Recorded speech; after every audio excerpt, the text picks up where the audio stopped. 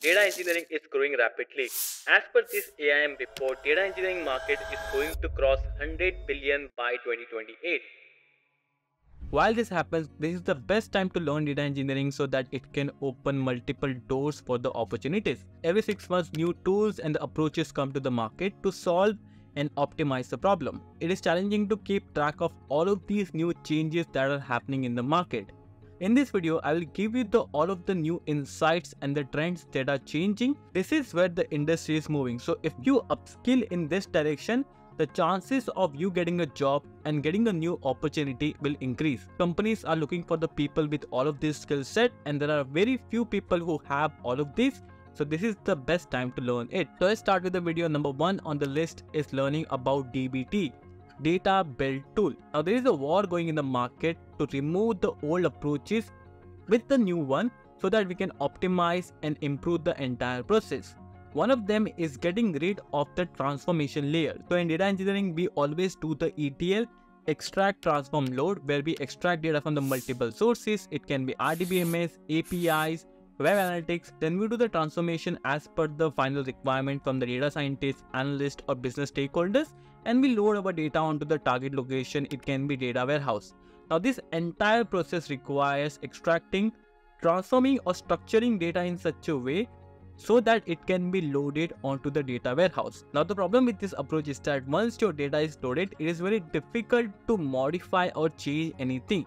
For example, a data scientist might be working with let's say 100 columns. He might require more 10 columns into the data warehouse because he wants to you know build a machine learning models or do some analysis. Now to achieve this outcome, we will have to modify the script, we will have to modify the schema on the data warehouse load the data, it is not just about the loading. We will also have to backfill all of the previous data that are required to complete those different columns, right?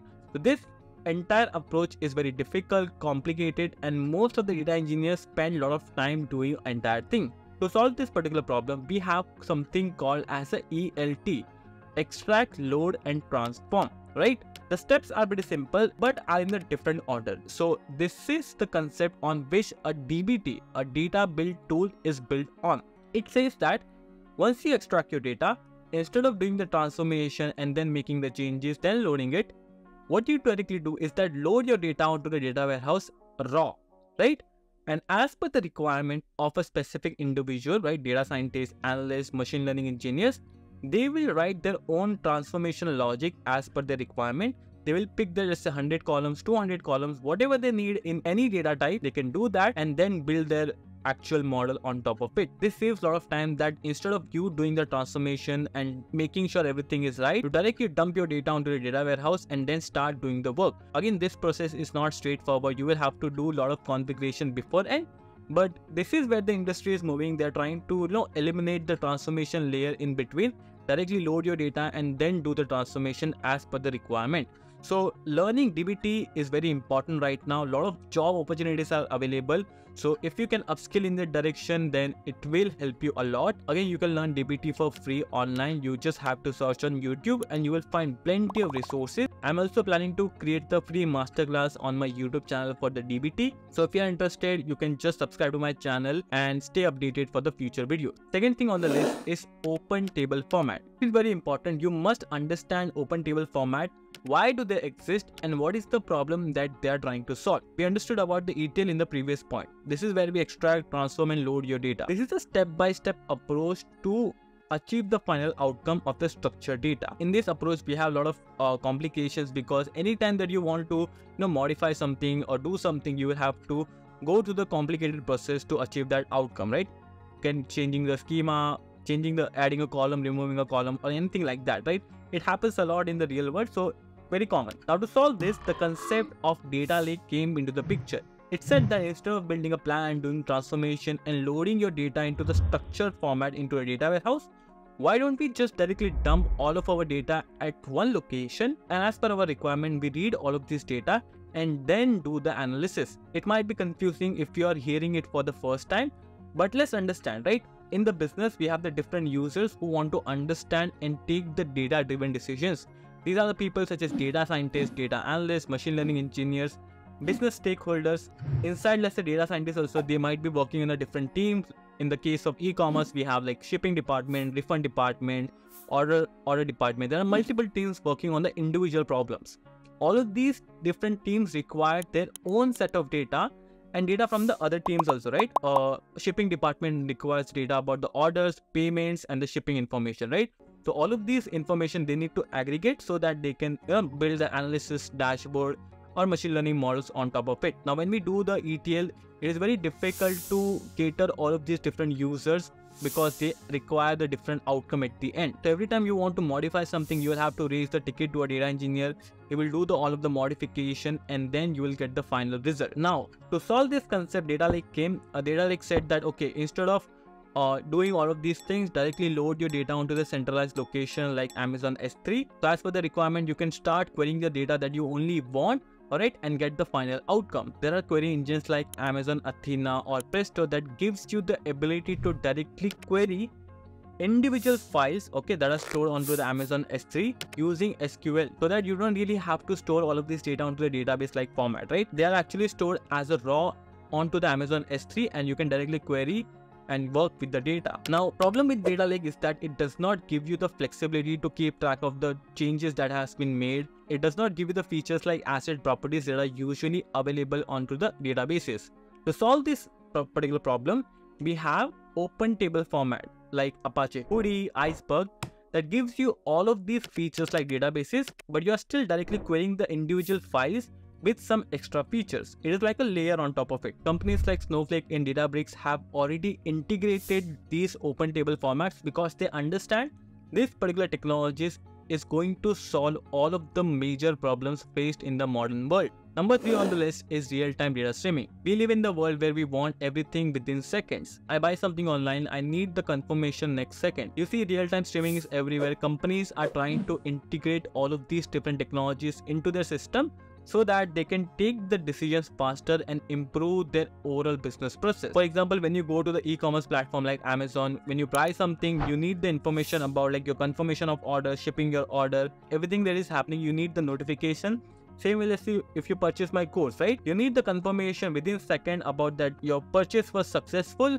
and the course is added in your account, right? So that you have the peace of mind that everything went successfully. As the volume of data and the speed at which a data is getting generated is growing, we need people who can handle all of these data. That is the reason companies will be looking for the people who have all of these skill set.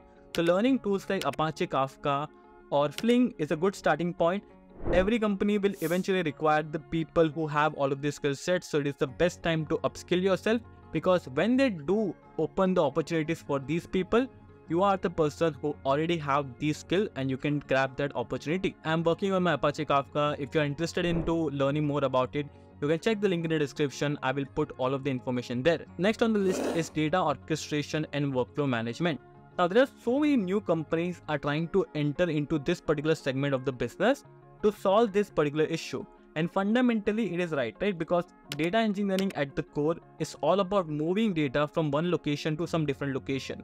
There are some transformation required in between and these transformation are divided into the multiple steps also. What these modern companies like Mage.ai, Prefect, Dagsters are trying to say that instead of you writing a lot of scripts and managing it, what you do is that you just directly I will provide you the connectors to the different locations so you can just click some buttons connect to the source, connect to the destination and do some uh, logic in between using some good UI interface. In order to build the data pipeline, we have multiple ways. One way is you can directly write the script, which is basically you have to use Apache Spark or Python, set up the entire infrastructure, okay, and then build your data pipeline. Second is using the SaaS tools like uh, Mage.ai Prefect that gives you the flexibility of not worrying about the backend infrastructure or anything, the code level.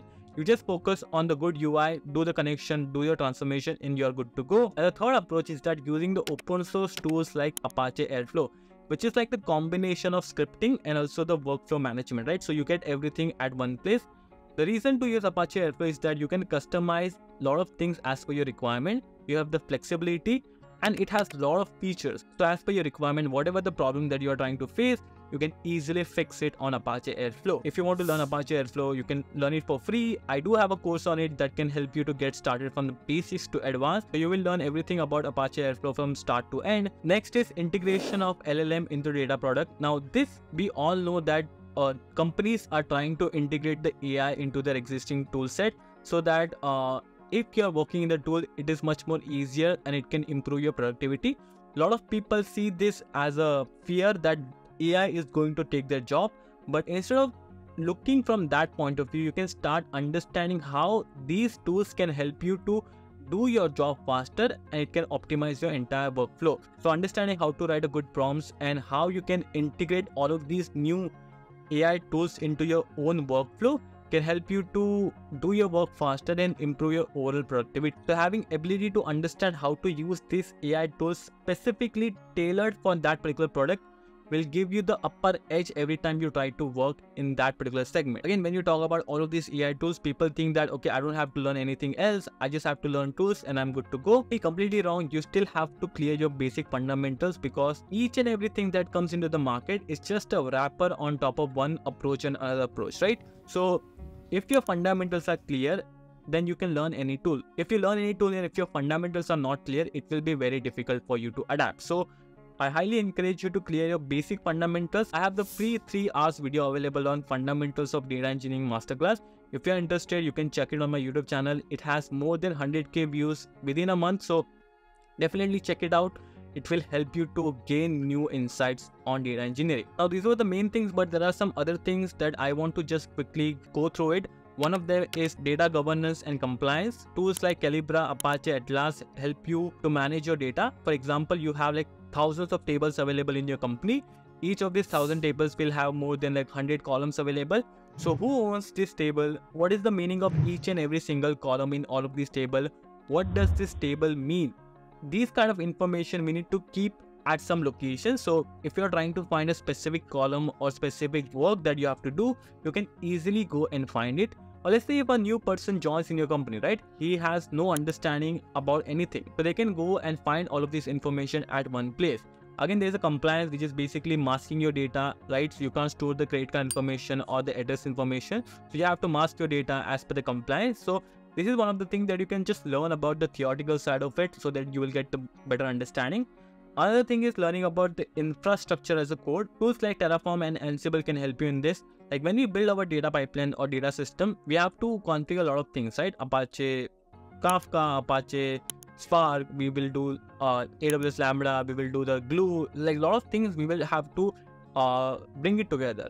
Now, the best way to manage all of these is by doing the infrastructure as a code. So if you want to like set up the entire thing, you can just run the one script alright if you want to destroy it you can just run the simple command and it will destroy everything so it becomes much more easier to manage it rather than you going to the console level clicking some buttons and trying to you know make the entire thing this will uh, it is possible to do it, but managing that will get difficult and complicated. So learning infrastructure as a code will give you the more flexibility uh, to manage your entire data environment. So again, you don't have to really master it. Just get a good understanding how to do it just watch some tutorials and you'll get the good insights on it right so this was everything about this video. If i missed something then do let me know in the comment section so that uh, other people can learn about it.